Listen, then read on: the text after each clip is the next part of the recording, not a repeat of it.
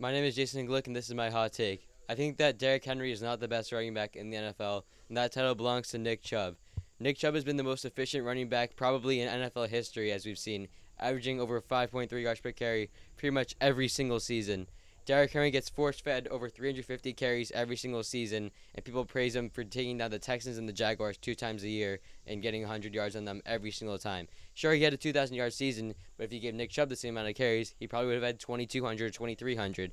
Nick Chubb is a more forceful runner. He is more violent. He's able to stiff arm better than Derrick Henry, and Derrick Henry is known for his stiff arm trait, even though um, Nick Chubb is by far better. Nick Chubb has better elusiveness. He has better vision, better power, and nobody seems to talk about it because Derrick Henry just gets force fed these carries, and people praise him for doing the same thing over and over again. And people bring up offensive line. Nick Chubb's best season came with the sixth ranked, sixth lowest ranked offensive line in the NFL around there, while Derrick Henry's was towards the top, and he had an incredible season with one of the best offensive lines. Sure, Nick Chubb's offensive line has progressed since then, but Nick Chubb has by far been the more violent runner, and by far been the more trait-wise the better football player than Derrick Henry.